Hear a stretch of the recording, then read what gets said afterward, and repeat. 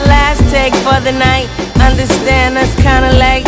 And I gotta get home to my son, cause he's so special to me. I mean, I gotta see him, I need to breathe him. That's my baby, don't call me crazy. I love the studio, but I love him more. Let me give you what I got, so.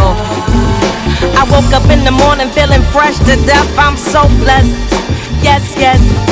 I went to sleep stressed, woke up refreshed, I'm so blessed. Yeah, yes.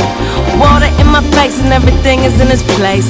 Peace of mind, even my grace. I'm so blessed. Yes, yes, yes. My grandma almost lived to see 92. I'm so blessed. Yes, yes, yes, yes. My son was born healthy and beautiful. I'm